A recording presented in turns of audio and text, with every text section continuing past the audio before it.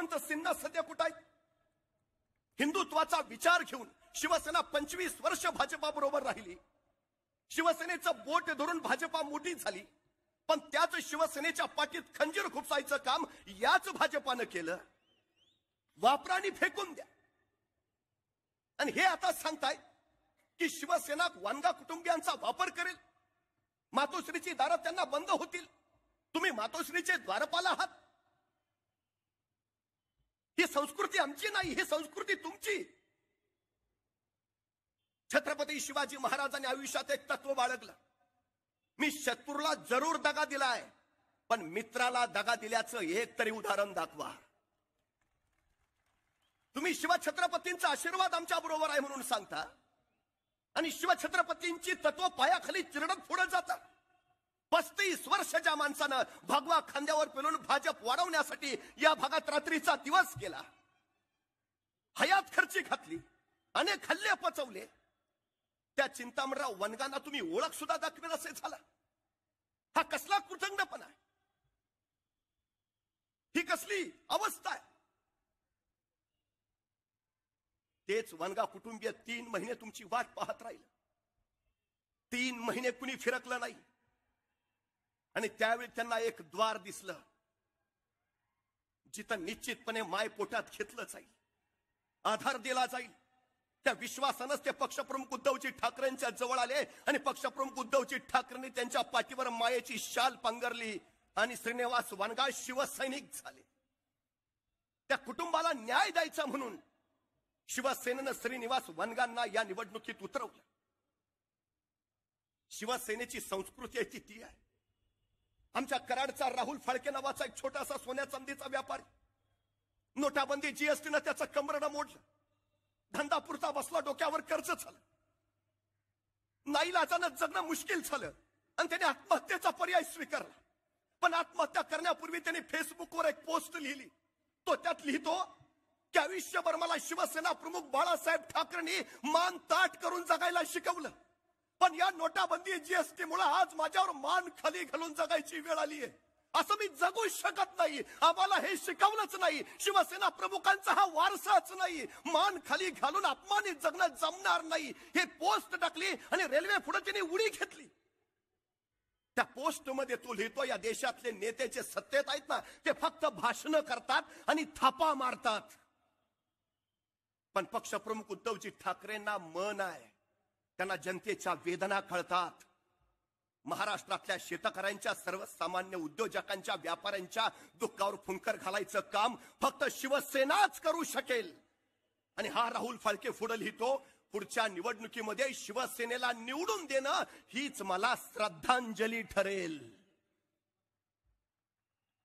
आणि या राहुल फाळकेने एक अपेक्षा व्यक्त केली की माझ्या कुटुंबियांची जबाबदारी आता शिवसेनेनं घ्यावी. त्याला काळजी होती त्याच्या पत्नीची. त्याला काळजी होती त्याच्या मुलाबाळांची. पण विश्वास होता की शिवसेना माझ्या कुटुंबाला उघडं पडू देणार नाही अरे एक साधा शिवसैनिक त्याची वार्ता कळाली आणि पक्षप्रमुख तातडीनं धावले.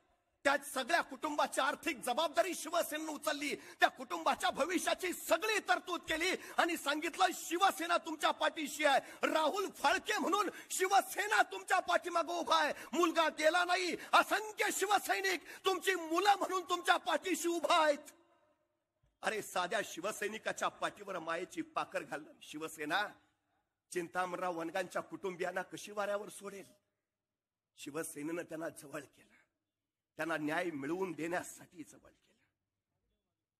अहो तुम्ही सांगता श्रीनिवास वनगा शिवसेनेत आल्यावर पालघर पोटनिवडणुकीसाठी तुम्हाला उमेदवार मिळत नाही? तुम्ही दुसऱ्या पक्षातला उमेदवार आयात करता? आणि मग सभेत सांगता हम शेर आहे काय तुमची ताकद ती दिसली? उमेदवार नाही तुम्हाला. सगळे आयाराम गयाराम ही ताकद. तुम्ही शेर नाही जनता इथली शेर आहे. एका फटक्यात ती अनेकांच्या सोंगाडोंगाचे बुरके फाडून टाकते ही सगळ्यात मोठी वस्तुस्थिती आहे. गेली कैक वर्ष काँग्रेसच्या जाळ्यात ही जनता अडकली फसली. आणि त्यावेळी त्यांना कुणीतरी हवा होता या सगळ्यातनं बाहेर काढणारा. अच्छेदींची स्वप्न दाखवली गेली. जनता भुलली. झालं काय? हातात काय मिळालं? या भाजपा नेत्यांचे जागोजागी वॉन्टेडचे आता पोस्टर लागायचेच बाकी राहिलेत. ते कल्याण डोंबवलीकर वाट पाहतायत आमचे साडेसहा हजार कोटी कधी मिळतील म्हणून. ते पेनवाले सुद्धा तसेच वाट पाहतायत एवढी आश्वासनं दिलेली कधी पूर्ण होतील म्हणून. पेट्रोल सत्याऐंशी रुपयावर गेलाच. पेट्रोल गाडी टाकायचं असेल तर कर्ज काढायची अवस्था आली माणसांवर. कर्ज देणाऱ्या संस्था सुद्धा उभा राहिल्या. हे अच्छे दिन आहेत जहा डाल डाल पर सोने की चिडिया करती ती बसेरा वो भारत देश है मेरा। असं म्हणणारी आम्ही आज डाळ डाळ सोन्याच्या भावात विकत घ्यावी लागली. अवस्था काय आहे? महागाईनं उच्चांक गाठला शेतकरी देशोधडीला लागला. हे अच्छे दिन आहेत तुमचे. प्रत्येकाच्या खात्यावर पंधरा लाख जमा झाले प्रत्येकाला रोजगार मिळाला प्रत्येकाला आनंदानं सुखानं जगता आलं. काय झालं नेमकं? काय परिस्थिती आहे?